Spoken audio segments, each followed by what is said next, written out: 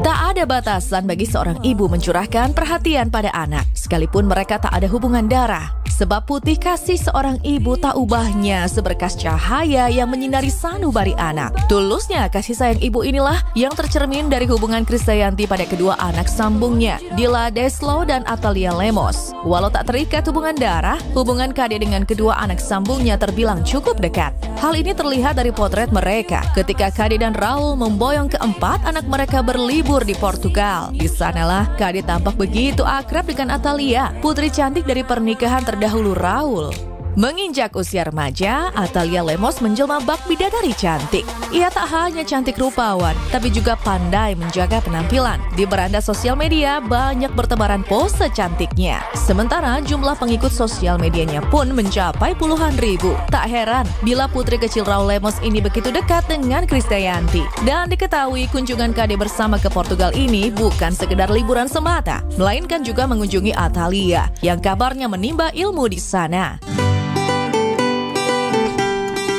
Di Portugal, tak hanya potret Krisdayanti dengan Thalia saja yang menohok publik. Kehadiran Dila Deslow juga menguntai keakraban keluarga yang hangat. Sebagai putra Raul, Dila pun memiliki paras tampan dan tubuh atletis. Pria yang hobi bermain bola ini pun terbilang cukup eksis di sosial media. Walau jumlah followersnya tak sebanyak Atalia, setidaknya Dila cukup rajin unggah foto. Menariknya tak hanya kepada Kade, Dila juga akrab dengan dua adik sambungnya, Amora dan Kellen.